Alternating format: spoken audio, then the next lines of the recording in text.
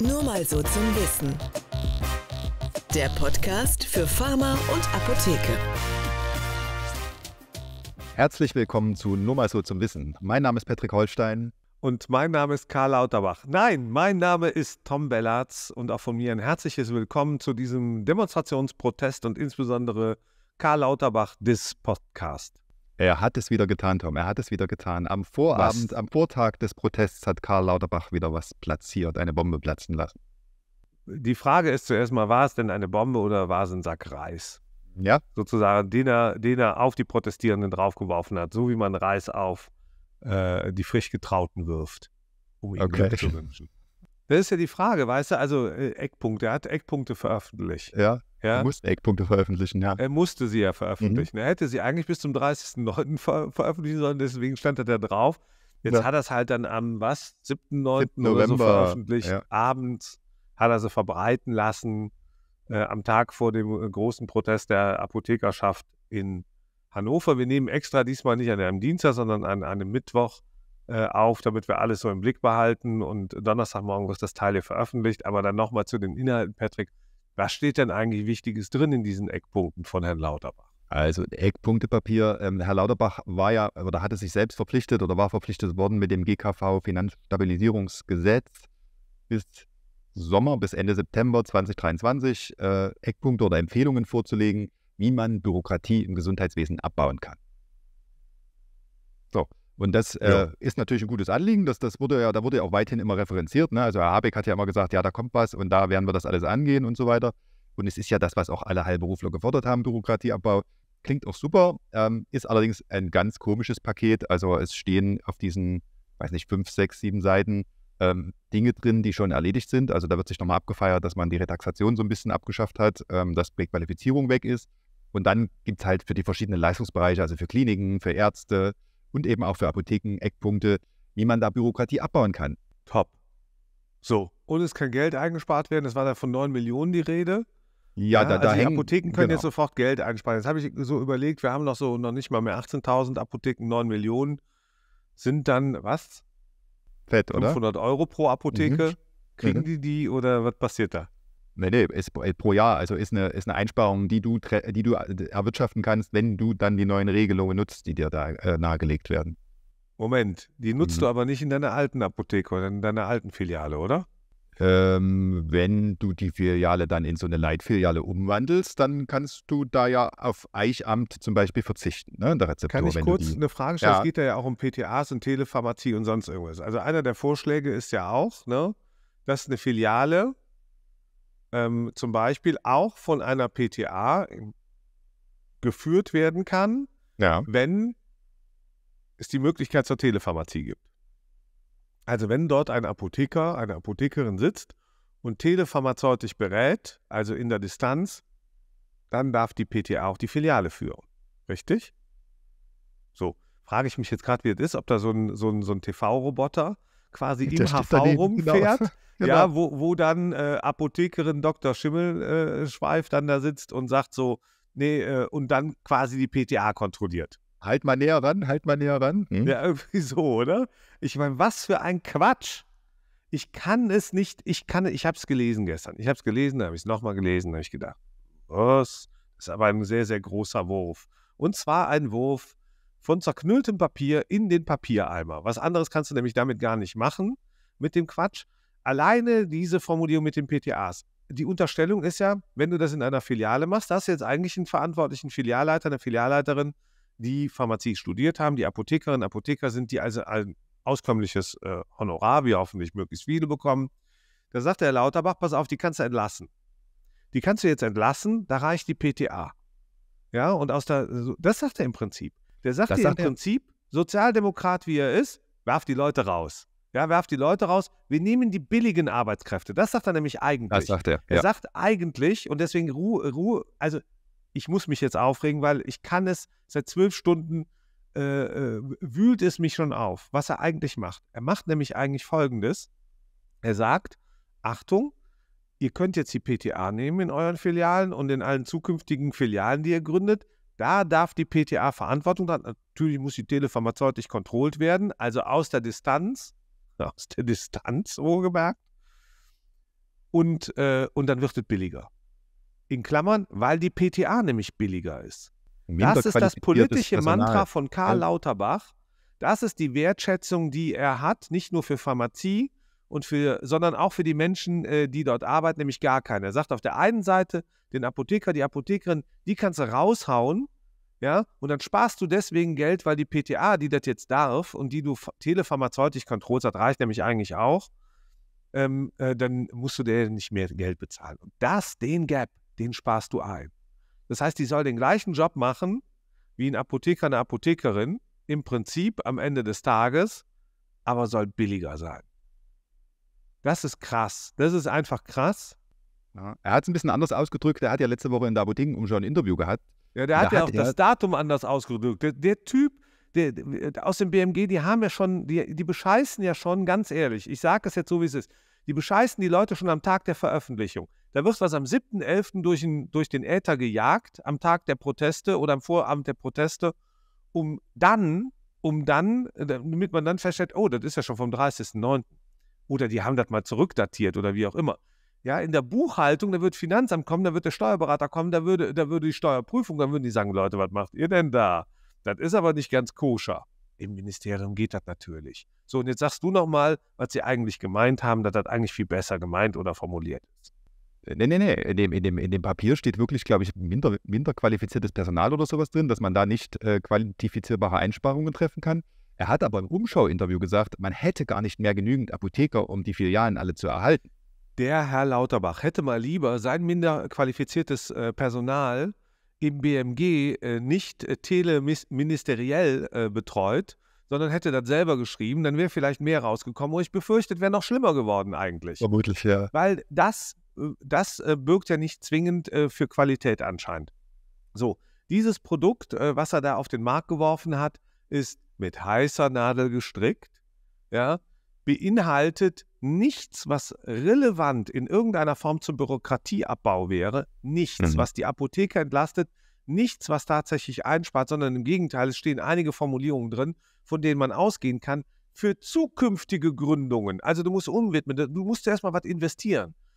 Für zukünftige Gründungen von Filialen beziehungsweise für umgewidmete Filialen, da kannst du eine, Billiger. wie auch immer geartete mhm. Einsparung erzielen, weil irgendwas weggelassen ist. So, das wird dann irgendwie, das wird dann irgendwie beziffert, genau und im Detail ausgeführt und begründet wird es auch nicht. Inflationshaken ist auch nicht dran gemacht.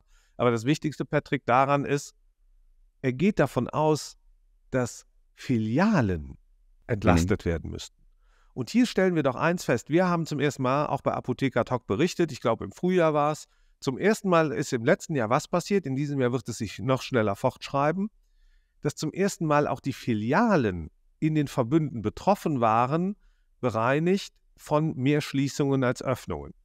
Das war bisher ja komplett anders in den letzten 15 oder 20 Jahren seit dem GMG, nämlich es hat, die Filialen sind immer gewachsen, die großen Apotheken damit auch und die Zahl der EigentümerInnen ist gesunken. Das hat sich in 2022 zum ersten Mal äh, geändert schreibt sich in diesem Jahr dem Vernehmen nach sehr, sehr äh, viel stärker fort.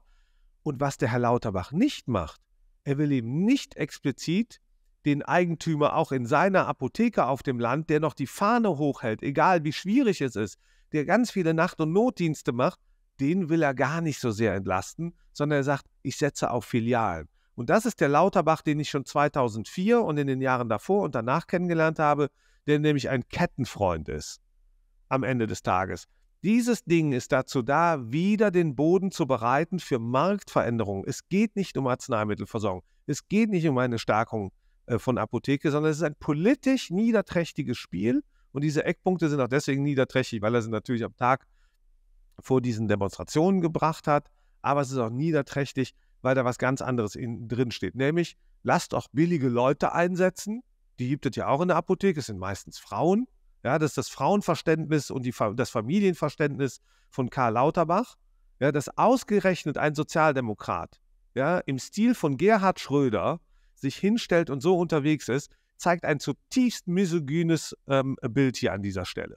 Ja, das ist eine Missinterpretation dessen, wie man Arzneimittelversorgung und Apothekenversorgung in diesem Land machen sollte. Ja, es ist, es ist zutiefst niederträchtig, ich sage nochmal, und eigentlich Karl Lauterbach, falls ich es nicht schon mal gesagt habe, ja, ist für mich der Gerhard Schröder des Gesundheitswesens. Ja, der muss ganz schnell, der muss ganz schnell weg.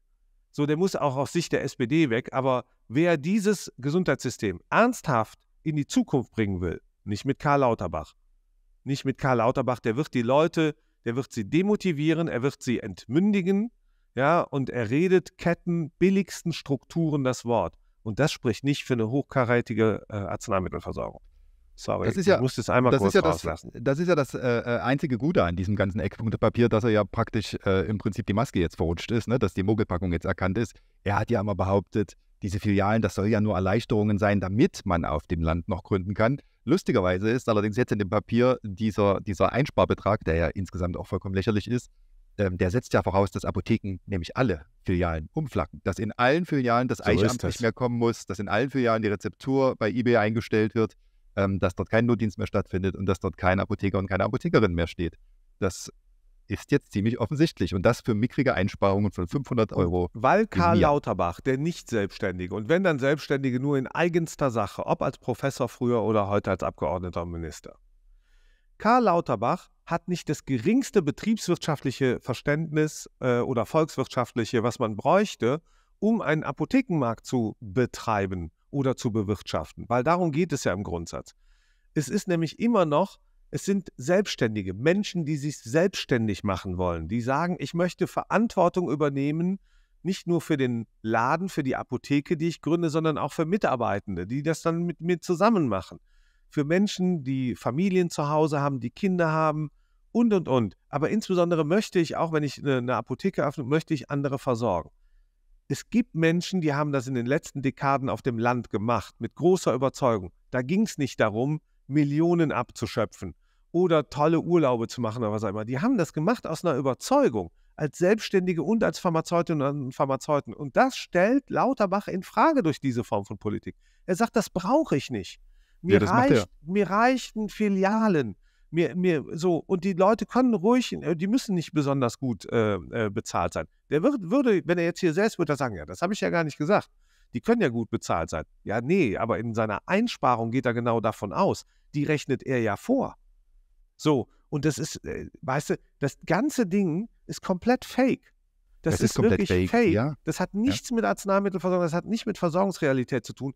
Jedes Jahr, ich habe keine, jeden Monat, ja, werden, werden, weiß ich nicht, wahrscheinlich 500 Millionen, 450, 500, Mil- 550 Millionen an Gehältern bezahlt von Apotheken.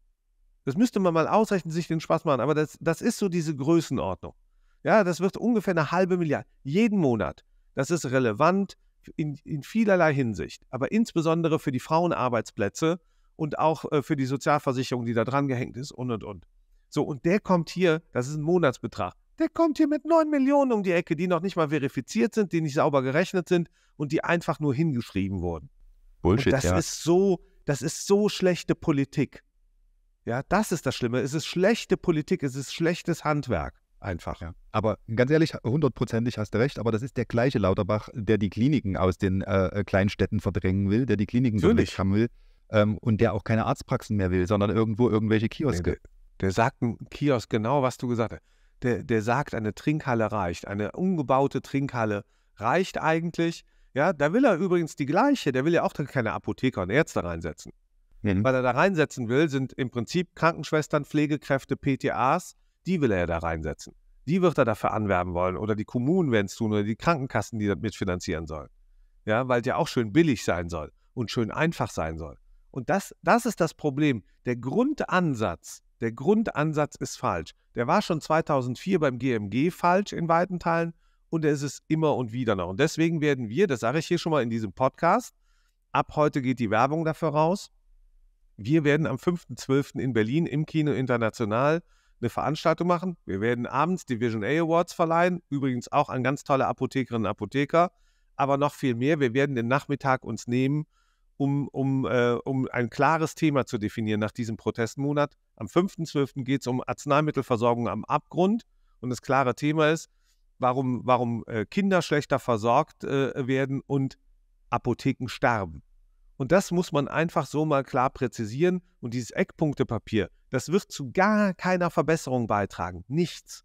Und ich befürchte auch, dass das zweite und dritte und siebte Eckpunktepapier, was wir noch sehen werden.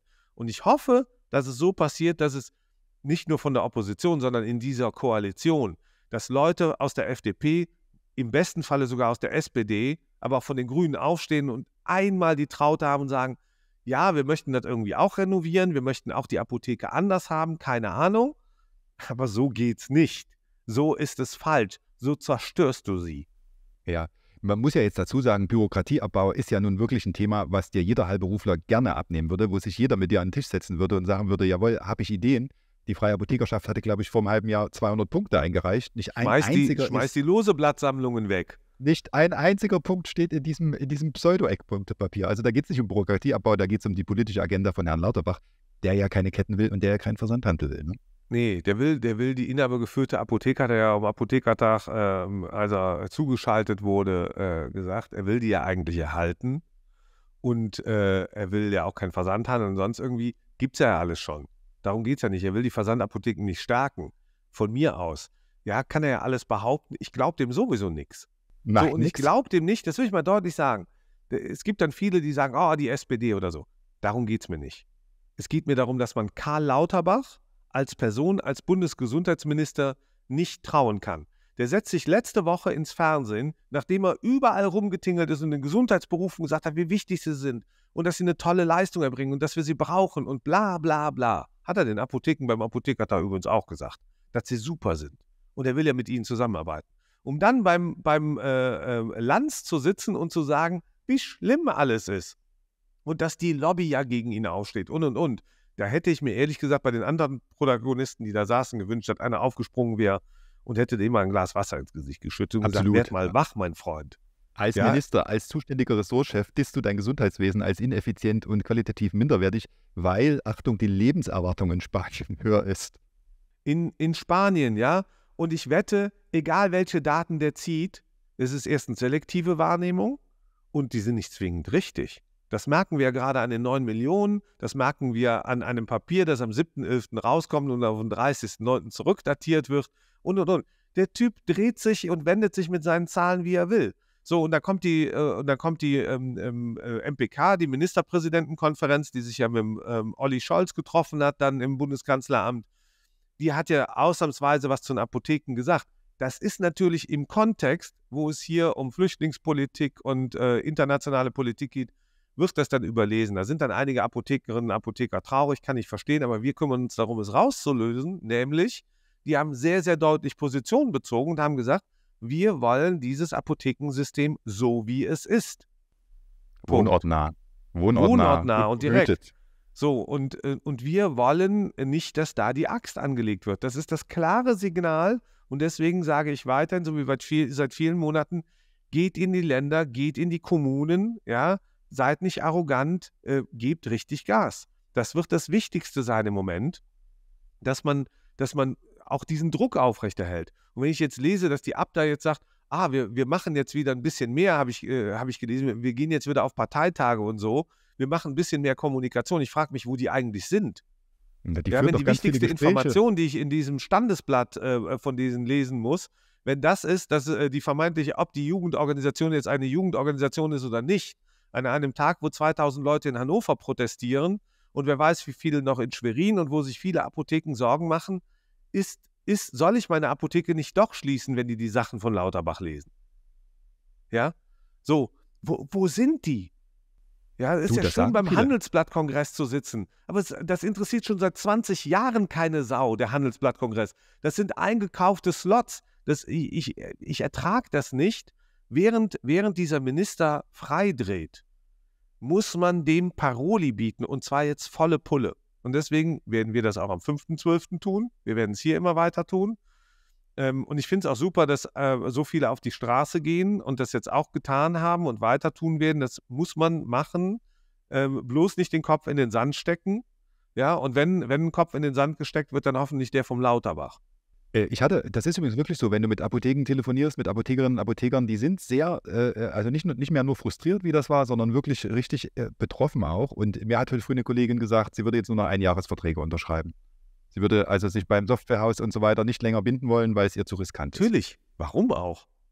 Ja, da, da feiern sich, ja, und nebenbei, da, da reden wir nochmal einen separaten Teil drum, ja, da, da feiern sich hier einige äh, der, der Apotheker-eigenen Unternehmen dafür, dass sie Gewinne machen. Ich frage mich immer, womit machen die nochmal Gewinne? Ach so, die machen Gewinne mit den Apotheken, mit den Erträgen der Apotheken und machen große Hauptversammlungen und irgendwelche Korruptionsgeschichten werden klein geredet, äh, die da zwischen Tür und Angel passieren. Das nervt mich kolossal im Moment, aber darum geht es nicht. Es geht darum, dass man jetzt vereint gegen den, äh, gegen den Lauterbach ran muss und gegen diese Politik und der Bundesregierung sagen muss, Leute, es stimmt, ihr habt wichtigere Sachen äh, in, in diesem Land im Moment. Ja? Die Arzneimittelversorgung ist gut, macht sie nicht kaputt, stärkt sie. Stärkt sie, aber macht sie nicht kaputt.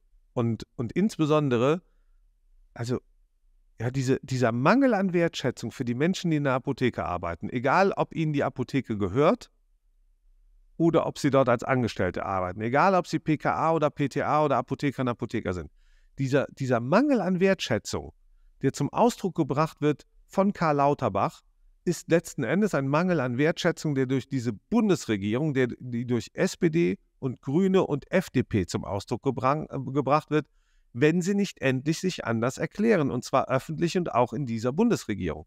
Und deswegen muss man auch die Bundesregierung auffordern und sagen, Leute, macht dem Spuk ein Ende. Halloween ist vorbei, wir haben immer noch November, aber da gehört jetzt endlich mal wirklich ein harter Schlag auch gegen dieses Ministerium, das so ein Mist produziert und die Leute verunsichert im Gesundheitswesen.